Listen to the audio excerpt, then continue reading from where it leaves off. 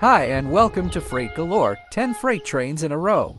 I hope you enjoy this video as much as I enjoyed doing it. I also want to thank all the drivers who saluted with their horns. Thank you. Without further ado, let's enjoy the trains.